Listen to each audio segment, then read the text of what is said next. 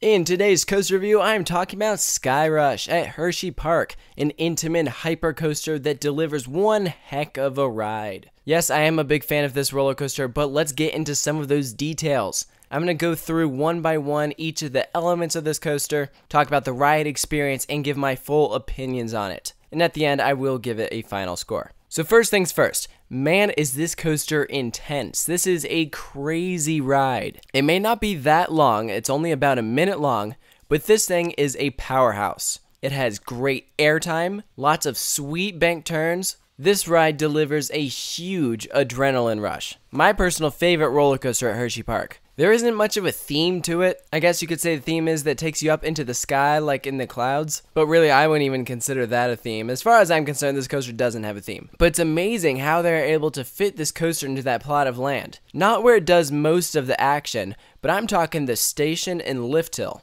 That has a very small amount of space, but they managed to fit it around Comet, which is super impressive. Now, unfortunately, because of that tight space that they had to work with, the station is a little bit odd. Normally, with roller coasters, you get on one side and exit the other. This, you enter and exit on the same side because there is nothing on the other side. It is just a wall. Because if there wasn't a wall, you'd be right onto Comet. So the station is a little funky, but it's not really that big of a deal. It's just kind of a hassle when people are loading and unloading. Everyone just kind of blends together. But the other thing that I thought was kind of weird was that Hershey Park had some of the seats roped off. If you look at some of this footage, a bunch of the seats are not available. And I still to this day have no idea why. I don't know if they do this all the time, but it was kind of irritating when you're planning on sitting with people in your party because you have to plan accordingly to which seats you can actually sit in. And then the other thing to think about is that they have a regular queue for where you wait in for any row except for front row, and then front row has its own queue which is oftentimes just as long as the regular queue, which that becomes a problem when sometimes they aren't even having four people per the front row and only two seats are open. I waited probably a good 30 to 40 minutes for the front row when the regular line was probably only 15 to 20 minutes. Everyone should experience the front row, but you're going to be waiting a lot longer. Well, let's talk about the ride experience. So, you climb into your row, you have the choice of a middle seat or a wing seat. The wing seat does not have a floor, and you are on the edge of the track. You're also a bit lower than the person next to you. And I would definitely recommend trying a middle seat and an edge seat. I think they provide slightly different ride experiences. I don't know if I necessarily have a favorite, but you're gonna pull out of that station. You start off slow, and then the motor kicks in, and boom, you just start accelerating up this lift hill insanely fast. Faster than Intimidator 305, faster than Millennium Force. This is probably one of the fastest lift hills I have ever seen. So you're gonna crest over and drop down 212 feet at an 85 degree angle, hitting 75 miles an hour. And wow, what a drop!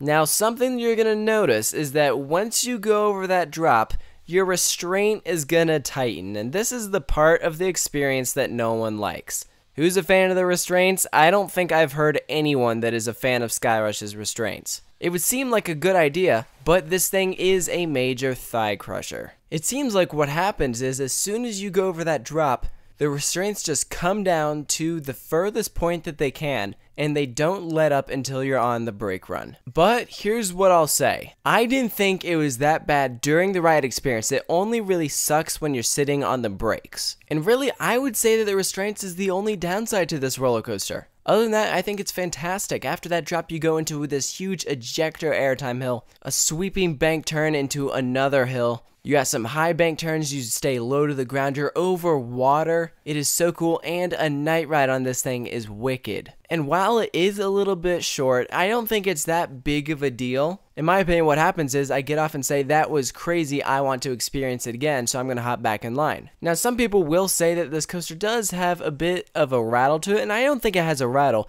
but I do think it does have a bit of a shakiness to it. And it's not anything that I would say is such a big deal. It's slightly noticeable, maybe a little irritating, but it's not that big of a deal, guys. I wouldn't be concerned about it. For the most part, Skyrush is smooth. So let's give Skyrush a final score. I'm giving this coaster a 9, and the reason why I'm not giving it a 10 is because of the restraints. Maybe not a huge deal to me, but definitely really bothers some people. I think also the larger you are, the more irritating it's gonna be.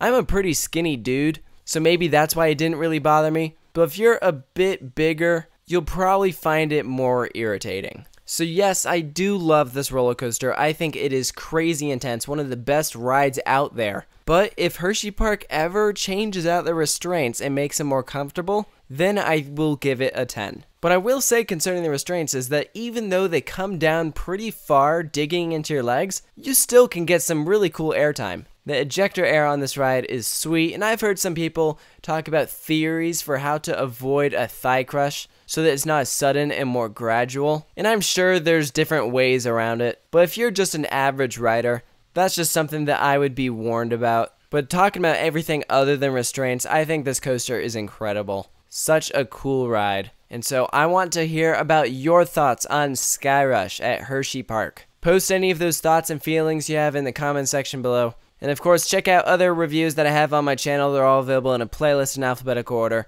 So make sure to check those out, and I'll catch you guys next time.